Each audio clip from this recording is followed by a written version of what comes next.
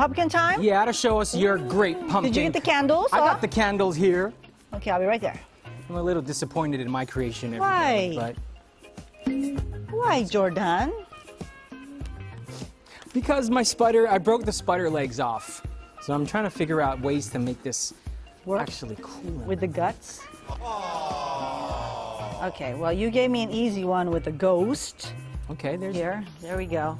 And then my tea light that you got Oh, this here. is kind of gross here. So y'all want to see Tina's one? Look at Tina's, how clean and perfect it looks. Oh, there's mine Okay, there we go.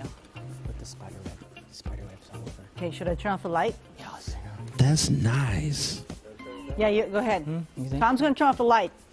So, Here we go, here we go, look, look. Can you see?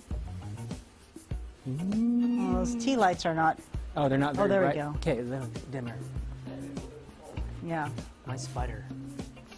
Oh, Can't see. what is happening here? I don't know. All right, well, we tried, Tom. Hey, but we sell. That's how you do it, right? We had fun. I had fun carving a pumpkin with you, Tina. Yeah, that's so fun. much fun. Thank you. Awesome. Tanya and um, Candy. Candy for our the stencils. We need to do this more, and we need to decorate all of them. I like yours a lot.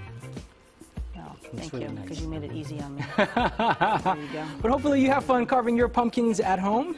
Of course, celebrating Halloween because it is not canceled. So just Yeah. like uh, Rena says, every single day you have fun. Yeah. The one thing about, you know, like uh, roasting the seeds Oh yeah. is first cleaning them to get all this off. Hmm. That's the hard part. It's the time consuming. right. But they are very tasty if you do them right. they are very very tasty. Okay. All right, guys. Till eleven. I still have one more chance to make.